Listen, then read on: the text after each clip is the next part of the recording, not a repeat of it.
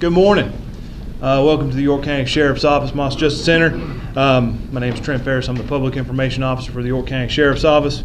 Um, today, the reason for our press conference today is to discuss our internal investigation findings regarding the in-custody death of Joshua M. Grose. Um, the York County Sheriff's Office has concluded our internal investigation, which occurred back on October 20th of 2013. Sheriff Bruce Bryant and uh, other members of the staff are here to answer your questions uh, about that. Uh, the ten- detention center policies regarding the use of force and restraints will also be discussed, as well as recent allegations made about another inmate death uh, in 2006. Um, video will not be uh, released. It will be shown. Um, at one point, you'll be asked to turn your cameras around or put them on the floor. You can still record audio, but you cannot video the uh, video we're about to show you. Uh, also, I ask that you will put your cell phones out on a table so you don't use those as a recording device as well. Um, right now, I'm going to introduce the folks here in the room. To my right is Sheriff Bruce Bryant. This is our staff attorney, Kris Jordan, K-R-S, K-R-I-S Jordan. Uh, John Hicks, Sergeant John Hicks, he is our um, trainer, um, instructor for the detention center. We also have Chief Freddie Arwood and Assistant Chief Richie Martin. And now I'm going to ask uh, Sheriff Bruce Bryant to come up for some short remarks. Thank you, Trent. And I, and I would like to welcome everyone here this morning. Uh, this is, is, of course, very unusual circumstances, uh, and it's very, very unfortunate. You know, we take take this whole operation to heart. Uh, what goes on here affects all of us. It affects all of our employees. And let me say this first and foremost: we're not here to punish anyone. That's not our job, and that's not the mission of this organization. We're very compassionate. We're as compassionate to inmates as we possibly can be. Uh, we treat them with dignity and respect, but there are certain things that we have to do sometimes when things are not going uh, normal. And I think after uh, you watch this video today or you uh, have a chance to answer questions and, and what have you, I hope that you will understand, and I hope that you will understand uh, what these officers must have gone through that particular night uh, of this incident. Uh, again, we do what we have to do to, to make sure that our inmates are kept safe and that our officers are kept safe. Uh, the last thing that we want to do is for an officer to be hurt or an inmate to be hurt. And you will see by this video just how compassionate some of these officers are, these officers are, and what what all that happens. That and and of course, you know, you can do things uh, in particular ways, and you do things what you think is right. And of course, you know, sometimes we're questioned as as to why we do things, and that's the, basically the reason we're here today. And that being said, I'm going to turn everything over to my staff attorney, Kris Jordan, and. Uh, I'm going to probably be in and out because I think this is going to be right lengthy, uh, and I've got some other things that I've got to deal with. But uh, I will be back in case somebody wants to talk to me or, or ask questions of me. And I may, I'm just going to see how it goes. I got my, my phone. Sure. What- Under what grounds are you withholding the video? Under what? My staff attorney will explain that. Okay, and you will answer questions? I'll answer, I'll answer questions. Uh, I- I'm not going, I'm not going to tell you I'm going to answer questions. There's a lot to be finished on this particular investigation. Again, we're giving you internal, the internal part of this investigation. The, the, as far as criminal investigation, that's being handled by the state law enforcement. You're not going to answer any questions?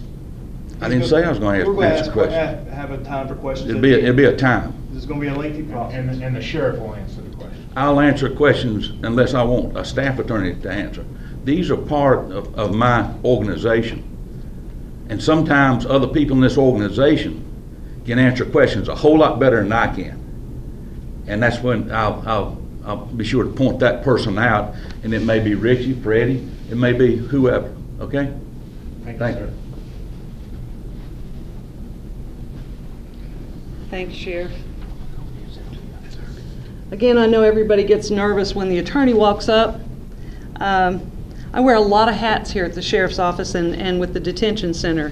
I'm involved in a lot of the processes. I, I um, assist with reviewing investigations. Sometimes there may be information that I don't think is in there that I think is necessary. So I will ask that that, that be done. And so I take a very active role um, at Sheriff Bryant's request um, to assist with these things. Uh, in addition, as I'm sure you know, agencies get sued. You know, we're not going to sugarcoat that. People like to sue government entities. And so while we want to be as open and transparent as we can, um, we also um, have to be cognizant of statements that we make. And um, so, what we want to make sure of is that everything we say is accurate, 100% accurate and correct. Um, because of the nature of this incident, people I'm sure want to ask questions. They want to question what law enforcement does. And then and that's their right to do that. But what we've hoped to what we hope to accomplish in part by calling you together in this way is to uh, educate you a little bit about what we deal with every day, uh, why sometimes things that you may see uh, in your normal everyday course of, of life may not appear to be appropriate. However, when I think when you can uh, take a look at exactly what our staff deals with every day and what their responsibilities are, and what tools they have at their um, at, at the ready, I think you will understand um, much more clearly and be able to give a much more accurate and full uh, description of activities that take place here at the sheriff's office and at the detention center. So uh, that being said, again, we want to reiterate, we're coming back to you just as the sheriff promised. He promised when he was in here for the media open house a couple of weeks ago. For those of you who were present, you heard that, recorded that. Um, it's never been his intent to hold off and not give any answers or let the public know uh, what occurred here in the detention center. Uh, typically, when we have these types of investigations, we don't like to come forward until all the information is available. Anyone who knows how to conduct a proper investigation knows that sometimes you have to hold off on stories, hold off on answers uh, when you don't have all the information. So it's always our intent to make sure that not only our, inter- our internal investigation is concluded, but also that all other pending investigations are concluded. Uh, a big part of that is we want to make sure we don't miss anything. We want to make sure that we are, again, complete. Um, we are coming forward today uh, because of a lot of questions and because of the toll it's taking on a lot of our staff. Um, our staff is being questioned, or their, their um, motives and actions are being questioned, and uh, it's taking a toll on them. And so we wanted to go ahead and not take any more time uh, so that we can allay uh, some of the allegations that have been made, and also just to give you the information that, that you need. Obviously, the public wants to know what happened in the detention center. Um, at this time, currently, the criminal investigation is still ongoing with regard to the crimes that actually occurred on the evening of October the 18th. You may wonder why, because the uh, person that was charged with those crimes has, uh, is, is no longer available to be prosecuted. Well, while we're talking about the death of Joshua Grose, we also have to be mindful that there are families out there right now who are dealing with the questions and the concerns, um, the unanswered questions to the bizarre set of facts that happened on October the 18th. Um, these family members uh, need closure. and they need answers. And so, regardless of the fact that there will be no no um, invest no prosecution, we want to make sure that we have as accurate a picture as we possibly can of a very puzzling incident that occurred. So uh, that is ongoing. The detectives are continuing with that. They're having assistance by other agencies to try to map out what happened and try to piece it together as best they can. Um, in addition, the um, autopsy findings, that report has not been completed. Uh, it's my understanding that um, that probably won't be uh, completed for a few weeks, uh, maybe a couple weeks. Um, that report will then go to the coroner, who will have to determine and report cause and manner of death. She's given a preliminary uh, ruling of blunt force trauma as, as the reason for Mr. Grose's death. However, the manner of death has not yet been determined. Once that is concluded, that will go to SLED, who is conducting the criminal investigation uh, to determine whether or not anything criminal happened here in the detention center with regard to the death of Mr. Grose. Um, once all of that is compiled then into SLED's investigation, they will conclude their report and turn that over to the solicitor. So it's very possible that it could take, you know, three to four or six weeks before all that's concluded. Because we have what we believe is a full and complete picture of what happened that night, um, we feel comfortable going ahead and trying to give some closure to some of these uh, allegations that are going on, and also just to let the public know how this inmate um, died in the facility. Uh, we feel confident that once those um, findings are made by the solicitor and SLED and, and the coroner, that that will be uh, consistent with what we've determined has, has occurred. We feel confident that, that it will um, be consistent with what um, you'll see today. Um, with regard to our findings on the investigation, uh, we have determined that the actions taken by detention officers with regard to Mr. Grose were not only within our policy guidelines regarding use of force and use of restraints, but that the actions by our detention officers exemplify the behavior that the sheriff ex- expects with regard to the treatment of detainees in our facility. Uh, in addition, they used ingenuity to try to protect Mr. Grose from his self destructive behavior. Before I go into the particulars of that night, I'd like to just lay a little groundwork here so that we're all clear on what, um, what the climate is here within the detention center facility. Uh, and I apologize as far as the length of this goes, but we want to make sure that we give a full and accurate picture. We'll try to, we've got a lot of video. We're going to show a portion that shows the incident. We have video available of all the hours that he was in the detention center, and we can make that available for viewing. Um, with regard to video uh, and a detention center, we have a and the utmost requirement to provide for a safe environment. Um, to do that, uh, it's very important that the um, detention center remains as uh, trying to think of the right word to use for it. It's, it's very important that we maintain the security within that facility. Some video um, would show door entrances. Uh, releasing video can show officers' um, habits, the way they, um, or routines, I should say, as opposed to habits. Um, but their routines in checking checking doors, uh, making security checks, where they go in, where they come out of, how we actually deal with an inmate um, when they're in a combative mode. That creates a security risk. Um, because once that video is out there, we don't have any control over where that video goes.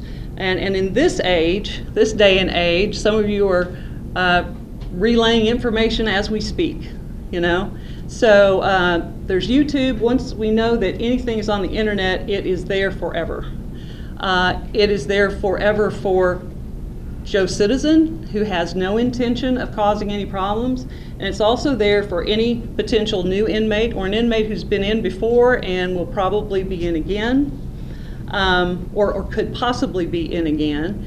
And um, seeing how our officers respond, how they, um, how a, a chair is used, any kind of use of force is used can create a security risk. And, uh, excuse me just one moment. We believe that we, by making this available for you to view, we are allowing you to, to see exactly what occurred, uh, but yet it would allow us to maintain that security um, that is so vital in, in um, what we do.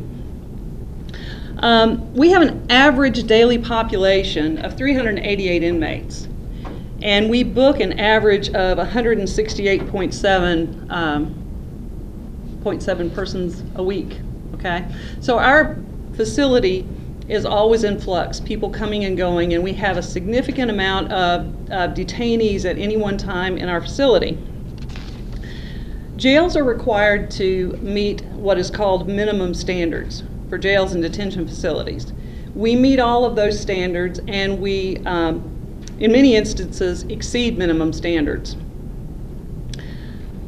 When de- detainees come in, they are provided with a handbook. And in that handbook, it lays out information on uh, you know, how many how much uniforms that how many uniforms they get, what they can have in their cell. It, it's provided to give them the information they need to successfully function within the detention center. As part of that, they're also given specific guides and guidelines and rules. And then there are specific consequences with regard to those rules, uh, infractions of those rules. Uh, at no time is a use of force or a use of restraint as defined by our policy used as a punishment. To do so would result in an officer being disciplined and could result in termination. Uh, and I, I think it's ironic that the sheriff used the exact words that I was going to quote him on uh, in my notes here. The sheriff always says that our job is not to punish or reward. He's said it ever since I've been there, ever since I've been here. That's the job of the courts. Uh, and that is our overall guide, guiding principle here at the detention center. You have to understand as well, we don't choose our inmates. Our inmates come into the facility with their own histories, their own um, prior engagements with law enforcement, their prior uh, family histories, family dynamics, uh, economic woes. They come in. They come in our doors with the same things that all of us face every day. They also come in with mental health issues, and they come in with medical issues. Uh, I think that um, it's pretty common or pretty pretty well known that the mental health um, hierarchy, for lack of a better term, across our country is woefully inadequate. We have a number of people who are homeless who are mentally ill. We have uh, a number of veterans who've returned with PTSD. Uh, and we have a number of inmates who are in our facility probably in great part because of acting out because of mental illness. So that is a big problem in this country, and it's a big problem for us to try to um, function within. Um, most of the information that we get from in, most of the information we have on inmates regarding mental health issues or medical issues are self-reported from uh, the actual detainee. Um, when they come in, they're booked. We do a pre-medical screening, and then a more elaborate, uh, elaborate medical screen- screening is done with our nurse. Um, so most of the information we have regarding any health, uh, health or mental issues come from uh, the inmates themselves or the detainees themselves. Sometimes we get family members who will provide information or call and give us information, and sometimes we're able to follow up with treating physicians. But many times there are um, individuals within our facility who don't have a common treating physician. Again, though, first and foremost, the detention center has to provide for the safe housing of detainees and with the safety of our officers and staff. We are not a hospital, and we are limited in what we, uh, the wherewithal that we have within our facility to deal with uh, many issues. Um, because of that, we utilize the um, resources that, that many families have to rely upon. We have to rely upon the mental health uh, system uh, in, in everyday life. We have to, um, sometimes the best alternative for us if we have an inmate who cannot, uh, we can't successfully maintain is if their charges will allow it um, and they wouldn't be a, a danger to the public, we try to get them to tr- try to uh, assist them with being bonded out. Um, sometimes that's our best alternative. Um, that wasn't an alternative for either Mr. Waddell or uh, Mr. Grose. Um, as we go through this video, what you're going to see um, is common behavior that our officers deal with every day. Our officers are cursed at, they're spit upon, uh, they, they have urine and feces thrown on them. It's hard to imagine, but it happens. Uh, it happens very commonly. Uh, inmates will, or, or detainees will um, smear feces and food on the walls. Um, they have to deal with some detainees who are mild, mildly disruptive and a little bit belligerent, all the way up to individuals who are very combative and self destructive. Our officers are mooned. Uh, our officers are exposed to genitals by the detainees intentionally. They'll intentionally masturbate in front of the officers, um, knowing that they can be seen and doing it on purpose. So, when our officers come to work every day, not only do they deal with their regular tasks, the responsibilities for counts and moving inmates, making sure they get fed, making sure they get their showers, making sure that all the razors come back in when they're allowed to use razors to, to shave. Um, they also have to deal with these types of issues. That's common for them every day. Um, the use of force is allowed to maintain order and to protect the detainee.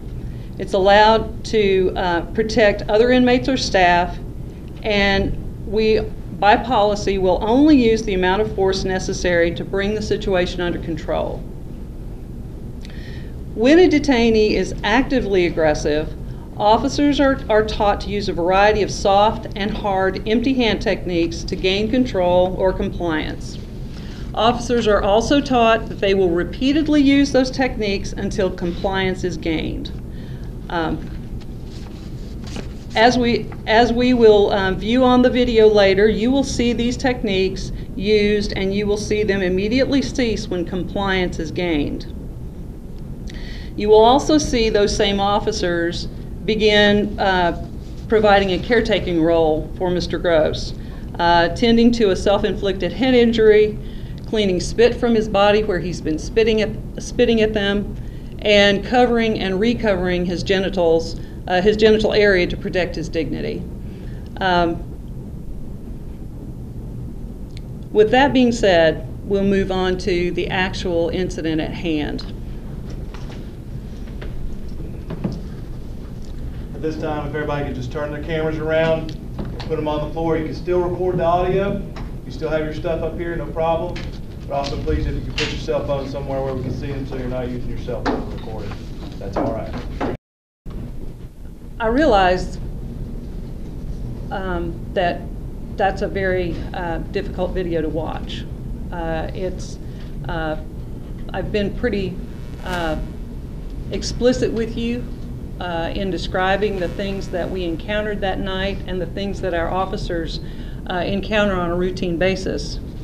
Um, as we've gone through that video and in discussing our policies and procedures with you um, regarding how much force can be used and when, when uh, force is appropriate, I believe we pointed out on the video um, when that force was taken, uh, how quickly it concluded as soon as those officers were able to start gaining control of the situation. Um, it would be very easy uh, to sit here an armchair quarterback. Um, my father always used to say, hindsight is 2020. Uh, we had the luxury of sitting back and viewing it, and as we view it, uh, it feels like a lot of times that uh, there's a lot of time passing. And I think when you actually look at the time difference between some of these things uh, that were occurring, it was uh, in real time for those officers was a much shorter time period than what you're what, what you're experiencing sitting still here. So I, I hope you will take all of those things into consideration in um, making judgments regarding what you would have done in that circumstance because uh, I feel real confident in saying that, um, with the exception of our detention officers that are in this room, I don't believe there's anybody in this room, me included, who could do the job they do and do it as well as they do. Um, it is totally different from an en- enforcement uh, side. Uh, enforcement, they take them into custody, they bring them in, and um, they're not caring for those people's uh, day-to-day needs uh, and, re- and requirements. And uh, sometimes that care requires that we use force, and uh, but then more often than not, it requires that we take care of their, their daily needs. And I, and I hope that you've seen um, some of that in action. Due to uh, the fact that this, uh, the, the other inves- investigations are ongoing, uh, we're not going to sit here and uh, answer questions in an armchair quarterback manner. Um, I believe we've fully answered what was seen on that video. Uh, we believe our, our policy is appropriate. We believe it was followed. Uh, can we take some things from this moving forward? I believe I addressed that um, as we were watching it. We've already talked about um, trying to explore what other kinds of um, devices we might be able to have installed or utilized to uh, to maintain the location of a restraint chair when someone continues to be combative.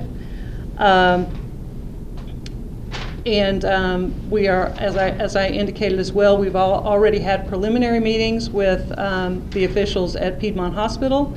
We're exploring other possible protocols that can be put into place um, to better equip, equip officers and EMS as well in handling uh, inmates that continue to be combative in that nature, uh, to include some medical sedation, those types of things um, as they become available. Um, so, with regard to that incident, uh,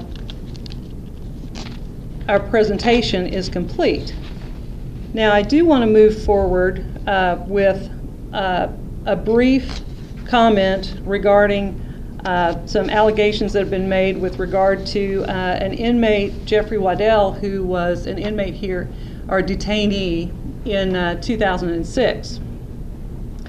Uh, Jeffrey Waddell came to us in February of 2006, uh, February 6th of 2006, after he had been arrested by Rock Hill PD. Uh, he was arrested for assault and battery of a high and aggravated nature. Um, I believe the victim in that case was uh, a, a relation of his uh, young daughter's mother.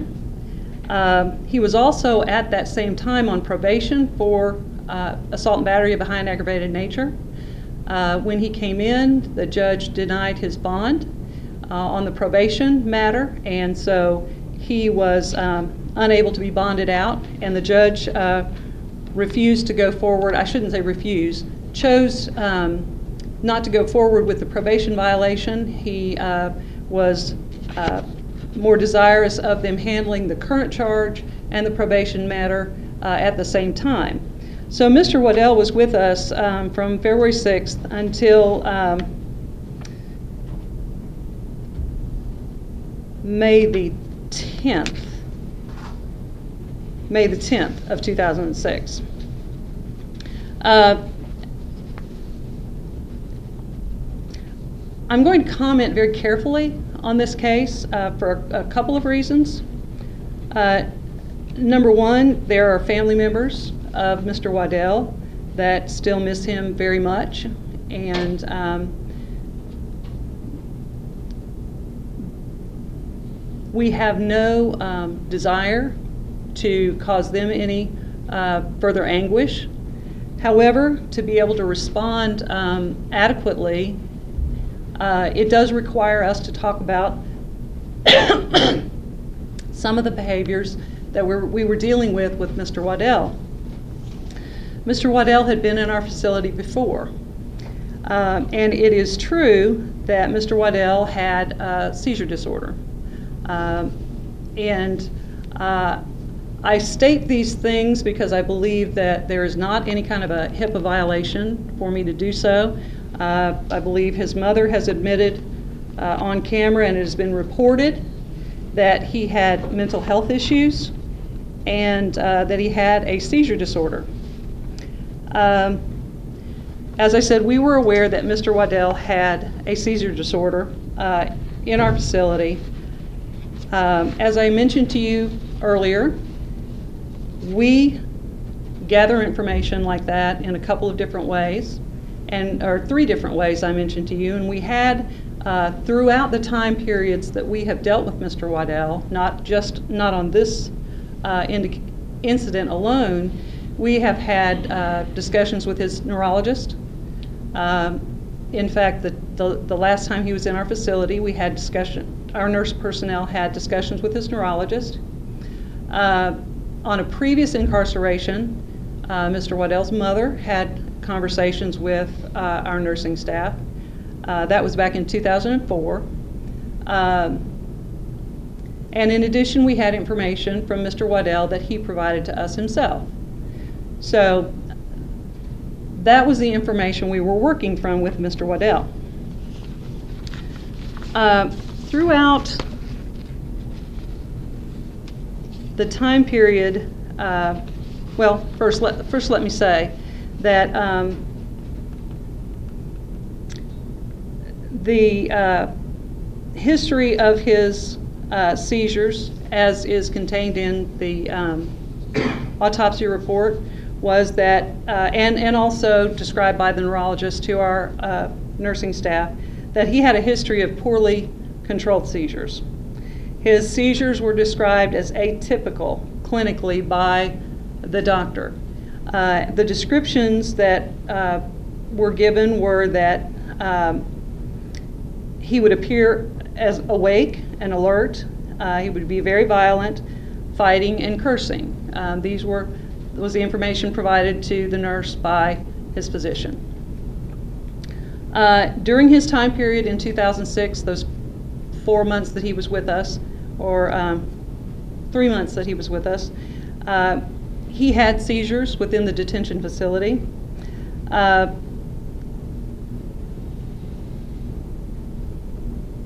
typically, um, those those occurred in the facility, and he was not transported for those. Uh, he also had a history, and and during this time period, refused to take medications. Uh, we have uh, our records reflect that at some points he would throw the medication down um, the uh, toilet. Uh, he would refuse to take. He would pick and choose uh, which medications he wanted to take and which ones he didn't. He also had a history of uh, faking seizures. He would carry out the same type of behaviors that he would have when he had a, a true seizure.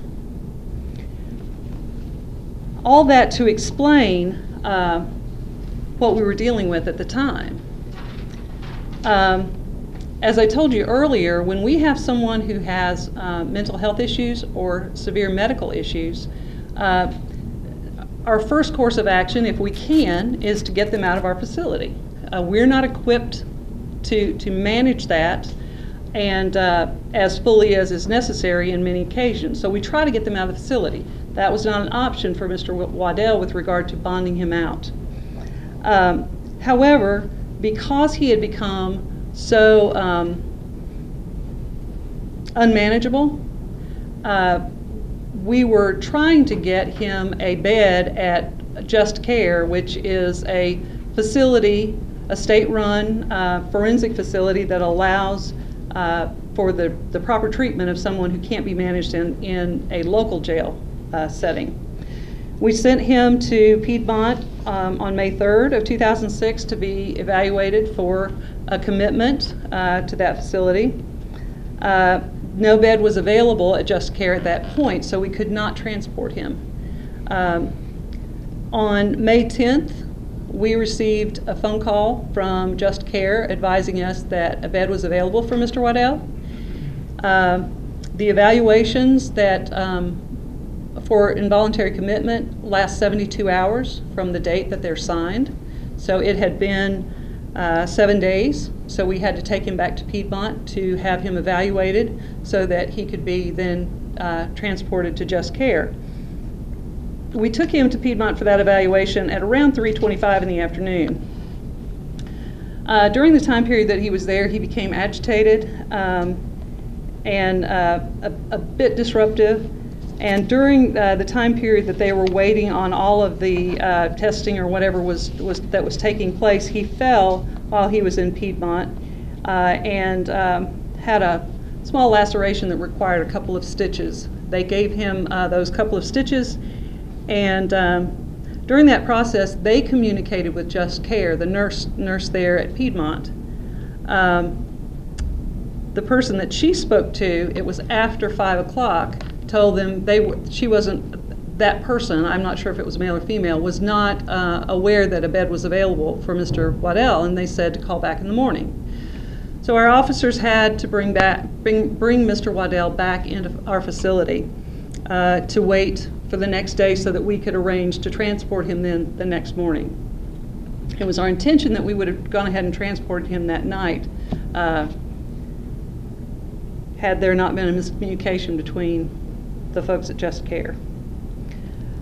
So um, Mr. Waddell was returned to our facility. Um, en route, the officer stopped to check on him and uh, then proceeded on to the jail, uh, the detention facility. Uh, during transport, they uh, notified the, the personnel that he had been combative, uh, been, uh, I, I don't want to use the word combative, that he had been disruptive and had fallen and hit his head, um, and asked that there be officers on hand to assist in getting Mr. Waddell out of, out of the uh, van and putting him into a restraint chair. Um, restraint chair uh, was at that point being utilized because of uh, the disruptive nature of what they, they were dealing with that night, as well as the fact that he had already injured his head uh, and that uh, we were dealing with someone with a seizure disorder that could injure themselves during the time period that we were trying to make sure we could get him out of the out of the um, van and safely into our facility for a while. Um,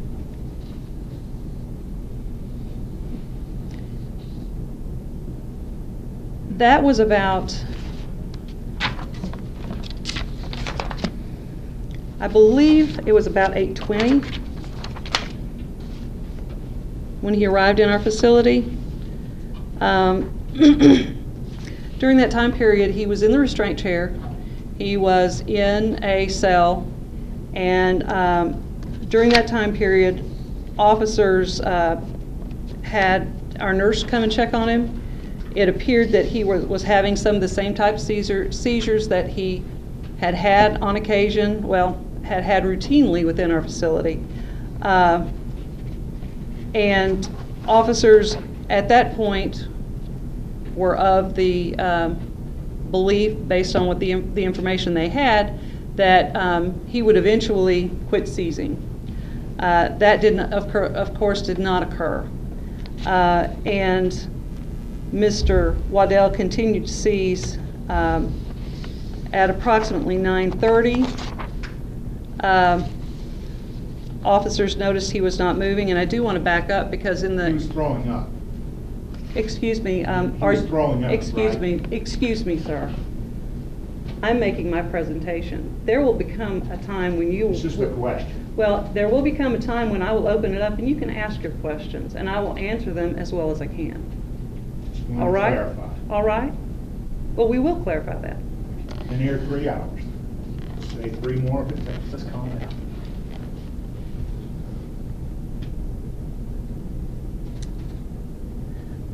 This press conference is on our dime. It was called for our purposes. We are attempting, excuse me, sir, excuse me, sir. Are you here to find out the truth, or are you here to try to antagonize? We're not going to be antagonized, sir. We're going to finish what we're going to do. You can ask your, you can ask your questions when it's appropriate, okay? Sure. Thank you. All right. Um, During the time period between uh, 8:20 when he arrived back in our facility and 9:30 when it was determined that he was um, no longer moving, there were times when the officers checked on him. There were times when, uh, there was at least one time that I recall uh, from my notes that um, Mr. Waddell appeared to be having some um, spittle or liquid coming from his mouth. Uh, officer, we had an officer who went in and um, cleaned his face, uh, checked on him, called the nurse to come back again and take a look at him. It was her assessment that he was having a seizure that he normally has, and um, she felt he would come out of it. Uh, as I said, that didn't happen. Uh, Mr. Waddell continued to seize, and um, and he died as a result of continued seizures. Um,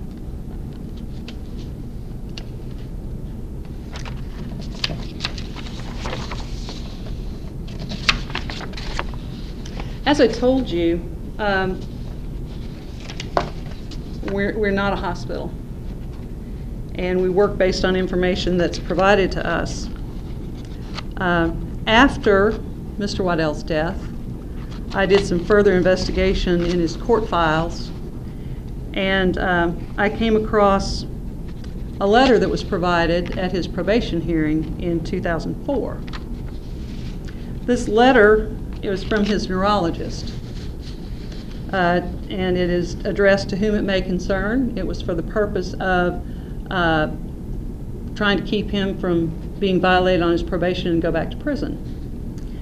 Um, we were not provided with a copy of this letter. This letter is from 2004 from his neurologist at Mr. Waddell's request. Um,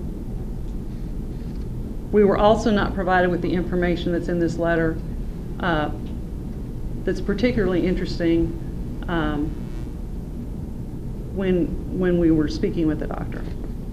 And again, I'm not pointing, I, I want it to be well understood that I am not pointing blame at Mr. Waddell. I am not pointing blame at any doctors.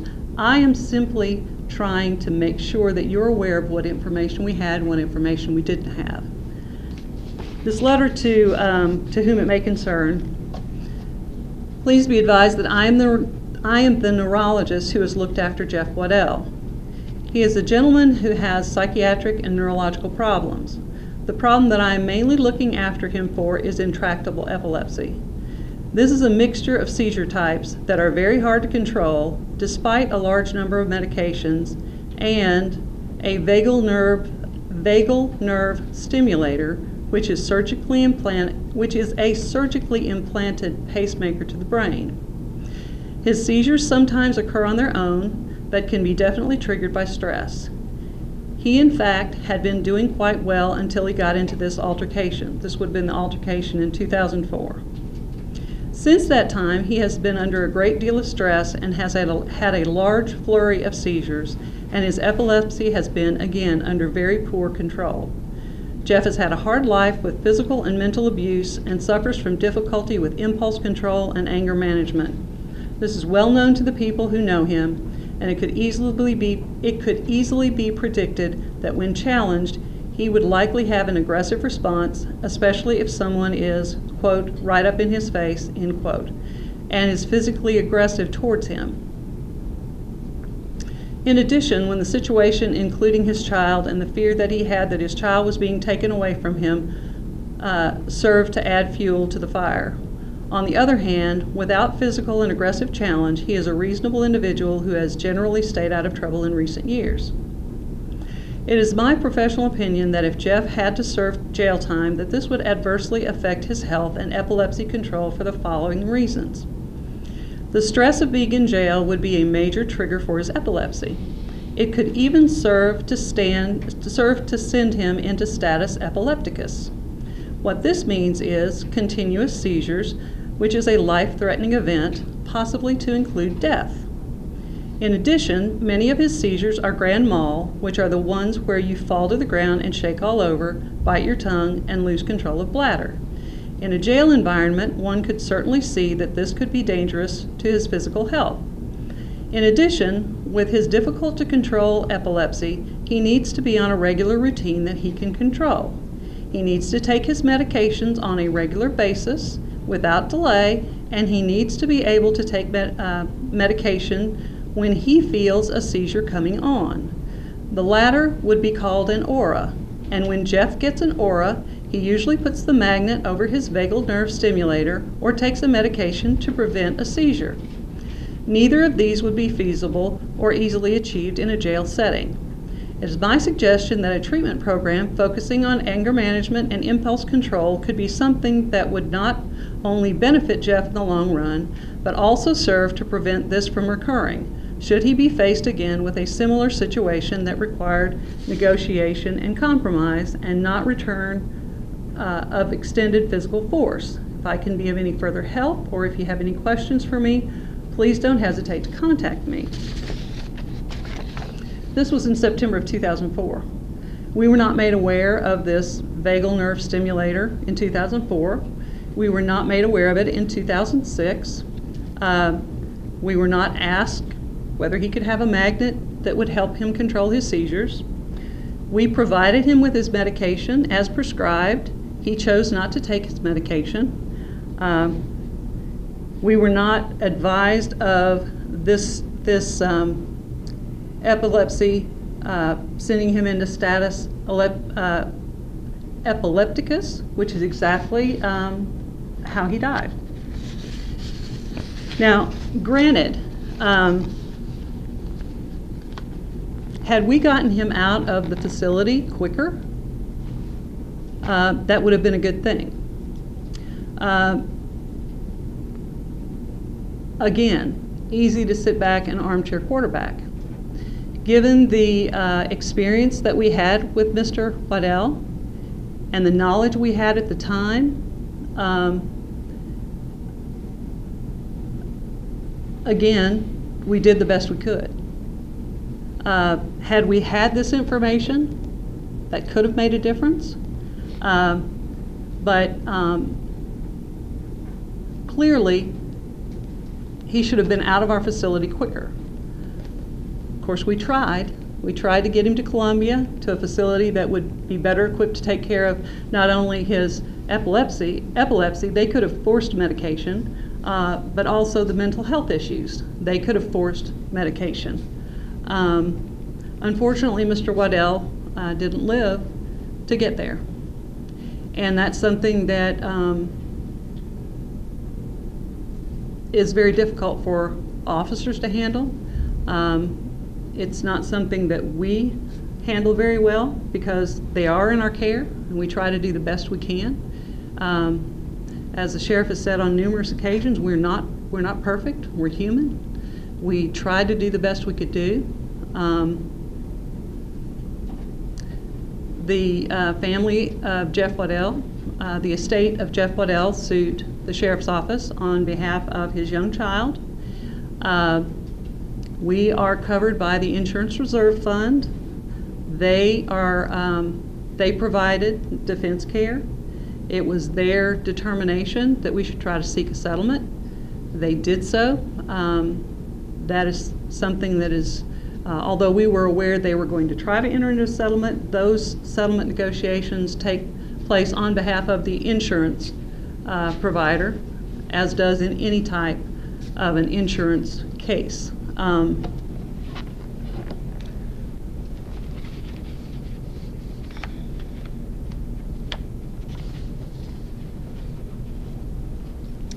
uh, the changes that we instituted once this occurred is uh, anytime that anyone has a seizure, they're, tra- they're immediately transported. EMS is called, they're transported, period. Um, that took place immediately, uh, pretty much the morning after uh, Mis- Mr. Waddell's death. Uh, they were, uh, our staff was um, told that we don't try to manage that in this in in house. We can't we can't do that, and so that change occurred. Um, and and I believe I believe that uh, covers what I wanted to present. So now, if you have any questions, Well, I was going to take a timeout. I know it's been three hours. Does anybody need to take a restroom break? And we'll come back and just want to, just looking out for you real quick. Y'all want to go ahead and knock off some questions? can we do don't we don't intend to go much much Yeah. longer. Just want to make sure everybody needs to take a break. Good? Uh, All right. Can We'll ask a few questions. Question? Sure, I mean, It anybody depends, in it the depends on the room. question. But uh, let's try to keep it Depending on whether I short. want to or not. I believe that's the rules here.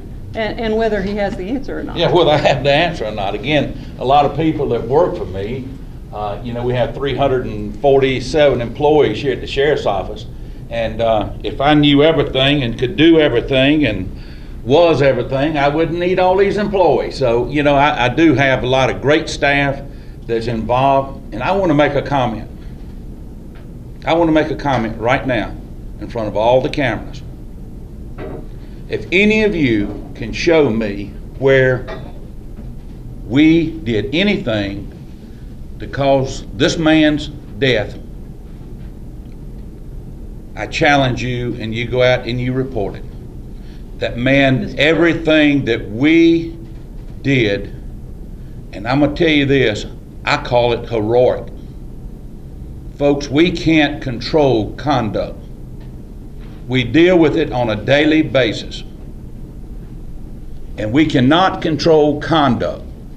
But we have our ways, and you check, don't check with this agency. Go check with any of the surrounding jails and detention facilities. They all use the same type of devices. Our people are trained. You never saw an officer of mine strike this man in the head. You didn't see anything that would cause this man's death. Everything that they did was for, for the purpose of saving this man's life. He was sticking his head in a commode and flushing it. He was hitting his head on the wall. He was out of control. We're not doctors, we're not psychologists, we're not all these things that, that we that people some people like to, to think we are. We work with what we got. And no matter what you say, if you look at the time period, we're not talking about a long, extended period of time. This man wasn't locked up in this restraint chair for days and days. This was a matter of a few hours. And that being said, I will tell you this from our internal investigation and what I've been able to determine so far. I've got 42 years in this business. I was a SLED agent. I worked jail desks as a SLED agent. And I can tell you this I have not found any wrongdoing on any officer's part in this organization, on this case or even on the other case. And why did you fire Mike Villioni?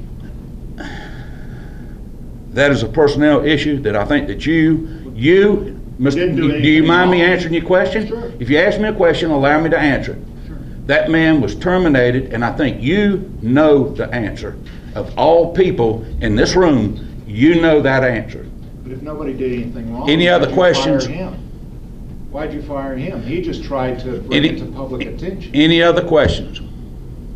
Uh, what about the changes that the lawyer talked about, about, you know, the restraint chair, um, process you can do when people are on suicide watch and things like that? You know- Where we with that?